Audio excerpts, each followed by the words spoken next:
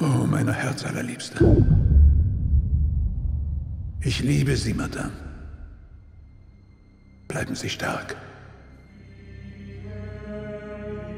Hat sie der Charme der Comtesse den Verstand verlieren lassen? Man kämpft nicht gegen den König von Frankreich.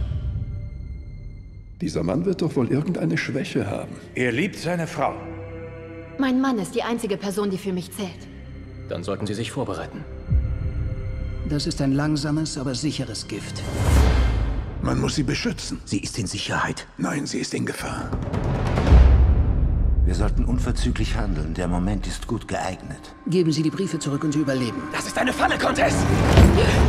Du hast nichts zu befürchten. Von deinem Geheimnis wird niemand erfahren.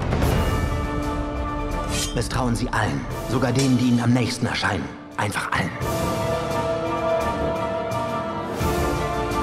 Wir dürfen kein Risiko eingehen. Eliminieren Sie diese Frau. Es ist zu spät, Madame. Ich werde meinen Ehemann nicht im Stich lassen. Diese Frau ist bewundernswert.